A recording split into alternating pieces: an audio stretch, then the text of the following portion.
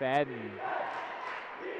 Over to Mater. Oh, that one nearly knocked away by Deluzio, and Hall comes up with it somehow, does not step out of bounds. Hall all the way to the rim, and the Mustangs are back on top.